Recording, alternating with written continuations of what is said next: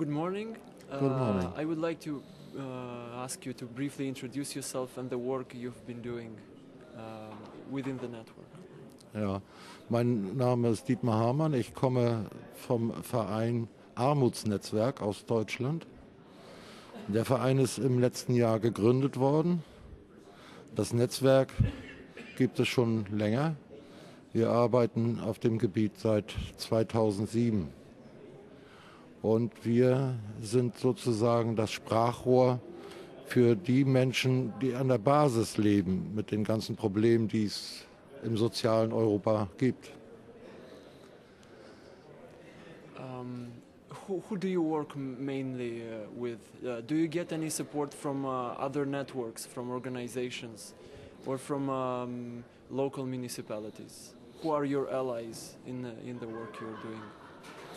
Ja, wie gesagt, wir äh, haben uns als Basisorganisation gegründet und äh, sind äh, aufgenommen worden in die Nationale Armutskonferenz in Deutschland und somit eben auch ein Teil der, der EAPN. Äh, so dass wir also mit ganz Europa zusammenarbeiten. Wir haben 2011 ein europäisches Netzwerk gegründet, äh, hier in Belgien. Äh, Da sind fünf Länder vertreten. Das ist äh, Belgien, Deutschland, Frankreich, äh, Ungarn und die Niederlande. Dieses Netzwerk heißt European Union of Homeless. Das ist unser Hauptaufgabengebiet eigentlich. Wir kümmern uns um die Belange der, der obdachlosen Menschen. Uh, what do you see as the main keys and um, uh, elements in, uh, in the way of uh, better redistribution of resources for the homeless? Wir denken, dass es ganz wichtig ist, die Belange von der Basis her heranzutragen an, an die Verantwortlichen, die politischen Entscheidungsträger, äh, die das eigentlich immer vom grünen Tisch, wie man so in, im Deutschen sagt, entscheiden und äh, nicht so richtig wissen, was für Fragen die, die Menschen an der Basis eben äh, bewegt. Wir wollen das Sprachrohr sein für die Leute, die wirklich auf der Straße leben. Wir wollen die Meinungen sammeln und wollen ihre, wollen ihre Forderungen äh, rantragen an die gesamte Bevölkerung, dass sie eben wissen, dass es gibt ganz viele, die, die von Wohnungslosigkeit bedroht sind und an die wollen wir uns auch wenden.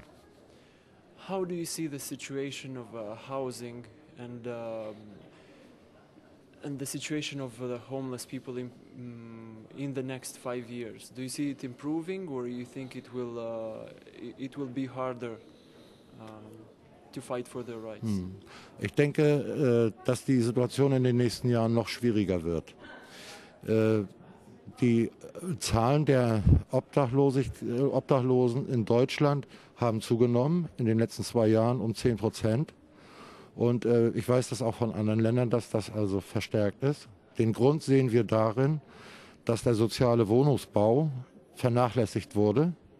Und äh, das ist nicht so schnell wieder aufzuholen. Das heißt, das, was jetzt nicht gebaut ist, die Häuser, die, äh, wo bezahlbare Mieten sind, die sind ja jetzt erstmal nicht vorhanden. Und das wird eine Zeit dauern, diesen Mangel zu beheben. Erstmal müssen ja solche Wohnungen gebaut werden und es muss, es muss ähm, äh, finanziert werden.